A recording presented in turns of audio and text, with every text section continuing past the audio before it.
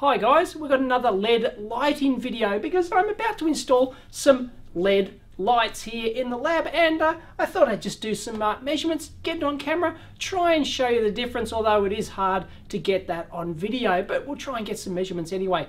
Now I've done a previous video on this, if you haven't seen it it'll be linked down below and that was with uh, Doug Ford from Doug Ford Analog Designs where we installed some of his cool uh, LED lights but it's not enough. I need some more. So uh, what I've got uh, at the moment is my lab is actually quite dark. It's a, you know, I don't have my LED lights installed at the moment. All I've got is my uh, regular compact, uh, sorry, uh, regular uh, tube fluoros up there, and they're um, pretty new um, NEC quad phosphor ones at 5000K color temperature, and well, they're not bad, but it's still, I've got two there, and it's still, you know, and more spread around the room, it's still not enough light. So I've got remote controls for my other LED lights. So when I shoot videos, like this is fine for just hanging around the lab, but when I shoot videos, I turn on, I've got uh, those two LED panels, which we saw in the previous video, so I can turn those on and woohoo! So this gives me uh, nice flood filled uh, lights that sort of come in uh, from different angles and from behind me and light up all the stuff on my bench, which is really, really quite nice. And if I do need more than that, I've also got uh, the ones Doug manufactures in his own uh, factory. These um, strip LED lights up here, so I can turn those on as well. And they're directly, two of those directly above the bench. So they just come down and light it all up. But unfortunately, so these are all uh, three 4000K, but my uh, fluoros are 5000K. But I've got, see, these new LED lighting tubes from Aldi. They had them on special today. So I went down, picked some up. They are 25 bucks each. Um, you can actually get them uh, cheaper than that on eBay, but they're, you know, who knows what brand, who knows what quality. These are from a company called uh, Muller Light in Germany, and um, they look you know, and sound decent quality, and they are 4000K. So I thought I'd try them out and uh, see if we can get some measurements so I can replace all of, hopefully, all of the uh, compact, uh, all of the fluoro tubes in the lab with the same color temperature LED lights. And there, I think 36 watts in there at the moment. When we get them down, we'll check. These are only 18 watts. So um, they're rated for 1700 lumens each. So we'll give them a try, get some measurements here on the bench and see if they make a difference anyway. It's worth a go. Let's go. Boom. Now here's the ones we're installing from uh, Muller Light or Mueller Light or however you want to pronounce it. I'm sure my German viewers will correct me on that. And uh, no, they're not made in Germany. They are made in China, but at least they're a reputable uh, manufacturer, I believe. So they should be, you know, fairly well uh, spec and, you know, fairly decent uh, quality. We might even uh, eventually uh, crack one of these open, but I'll leave that for another uh, video. Anyway, um, 1700 lumens, 18 watts, so they'll be hopefully replacing 36 watt strip fluoro. So you've got to keep that in mind. You know, much lower um, energy requirements. And you know, there we go, they reach 60% of their claimed light within one second, etc., etc. 30,000 hours, so they claim, and 15,000, greater than 15,000 on-off uh, cycles. These are 4,000 uh, K neutral white uh, colour, and LED lifetime of 30 years at around 2.7 hours per day. Or so they claim. Anyway, these are uh, rated for 230 volts. Uh, mind you, I've got closer, like over 245 volts here in the lab. So I'm not sure how that will affect the light. I'm really on the high side here of the upper limit of the mains voltage here in uh, Sydney in the lab. Anyway, they have a uh, CRI of uh, greater than 80 there, and uh, they draw 97 milliamps at 240 volts, and they weigh 285 grams if you're into that sort of thing.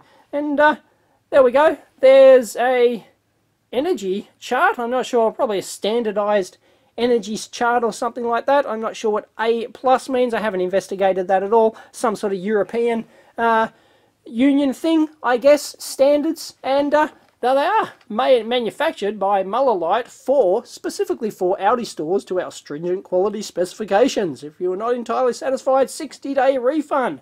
So there you go, I can try them out for 60 days and I can return these suckers. And made in China, and that's their website, uh, Muller Light, or Licht, DE, however you pronounce it. Sorry, that's uh, I need to work on my German pronunciation, but these are the ones we're going to install, and they are uh, completely uh, frosted. Now, a lot of these are clear, but you can see that it has extra frosting on that side, but I can't see any of the leads on the PCB inside there. I can't see anything through there. So um, you have to install these the right way up, of course. Otherwise, the you want the light bouncing down. Otherwise, it'll be bouncing up off the reflectors in the top. But uh, I'm not sure how much of a difference that makes. But anyway, yeah, they are completely frosted. Now, I've got my light meter here, um, pretty much directly under my dual strip fluoros up there. And as I said, NEC quad phosphor, uh, 36 watts, 5000 uh, basically at the top of the range uh, fluoro bulbs. And I'm getting about 390 lux here on the bench. So I'll keep this in the exact same spot and we'll replace those two 36 watt ones with two 18 watt LED 4000K. Uh, uh, fluoro replacements and see what we get. So let's, yeah, let's call it 390. I don't have my other LED lights on. If I do switch those on, my main LED lights, you'll notice that, boom, it instantly goes up to 640 on my bench.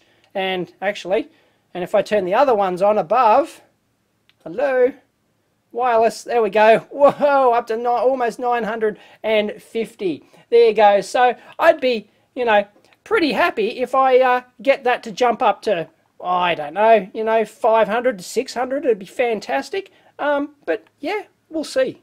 Okay, now what I'm going to do is just check my what uh, my camera tells me is the white balance value from this uh, white sheet of paper I've got here. It may not look exactly uh, white. My camera is fixed to a fixed uh, 4600 white balance at the moment, but let's uh, change that. I need to stop and you'll notice that if I set the white balance here, the camera will actually tell me what it thinks that white balance is. It should be 5000K because that's what the NEC tubes are rated at. So if I hit set white balance, there we go. Yep, spot on. It definitely says those uh, NEC fluoro tubes are 5000K. And of course, when you install these, you get uh, one of these little um, shorter uh, starters. It basically just replaces your existing starter. It's got a short inside like that. And uh, we'll e explain in the uh, previous video I've linked in exactly why and how this works. But anyway, just simply replace it. Not a problem. And I had the lights out when I was replacing this bulb, so I couldn't quite uh, see which uh, orientation it went in. And of course, Murphy says I get it back to front, and you can see that the light's shining up into the uh, trough up there and reflecting back off. Um, yeah, oops, just need to rotate that so it points down, obviously. And just for kicks, we'll uh, actually measure that with the light shining up into the trough and reflecting back down. There you go, 135 lux on the bench. Let's see what happens when we uh, rotate it. We'll get significantly higher. And bingo, there you go, gone up from 135 to around about, you know, that 190 odd figure. So don't install these upside down. And there we go. Look at that. I'm quite disappointed. It is less I expected. At least equivalent. Uh, really, but no, it's not. Um, you know, about, let's say, uh, 310 lux there. So it dropped from about 390 from those dual NEC quad phosphor ones uh, with at, uh, 36 watts. But hey, these are 18 watts. So um, I don't notice any noticeable difference in the lab here. So really, essentially, to my eyes, very equivalent uh, in terms of light. Sure, I'm not going to be getting more, but still probably a worthwhile uh, replacement given that they're um, they're only 18 watts as opposed to the uh, dual therm 18 watts each as opposed to 36 watts each in the other tubes. So really um, probably just a worthwhile upgrade there. Plus I also get the bonus of having the correct uh, color light temperature as well, which we'll measure now. Alright, let's set it and see what we get. I'm expecting 4,000 and we get 4,200 uh, near enough when you combine it with all the other uh, lights in the lab mixing in with these uh, nominal 4,000k uh, LED bulbs so that's pretty good. And just for reference, here's the NEC quad phosphor tube. As you can see, 37 watts, not 36, as I thought. 5000K, uh, made in Japan. And we'll just check for safety of these tubes to see if they're correctly uh, designed or not. Well, you know, I assume they are correctly design because um, you can't import, legally import the uh, dangerous type anymore. I won't go through the differences. We've done that in the previous video, which will be linked down below. But we expect a uh, short only on one end. So let's take a random end. Yeah, there we go. All right, and we should not have a short on this end. And of course we don't. So that is the safe type. Beauty. So there you go. I was a little bit disappointed with those, but uh, 1700 lumens, and I believe the NEC ones are rated for like 3700 lumens uh, nominal uh, output or something like that. So, but really, um, yeah, these give slightly lower lux output actually on my bench uh, surface itself, but probably equivalent here in the lab. I don't see a huge difference really. So, um, probably not good enough. I still need, I have to get some more of those uh, LED panels up there from uh, Doug because they're they're really super bright. They're like 60 watts or something each. They're fantastic. So I probably need another two of those over the bench plus the two backlit ones uh, on this side so like they can backlight. But these ones probably going to be quite good for the rest of the room considering that there are the 4000K, the color temperature I need. So therefore I'm not you know, mixing the 5000K NECs with the uh, 4000K LED light. So yeah, I'll probably go replace my 37 watt tubes with these 18 watts and, well, save some energy too. Eh, let's not get into the whole uh, cost, benefit, and payoff period and all that sort of stuff. I like them. I think they're pretty cool. So, anyway, I hope you like that. Catch you next time.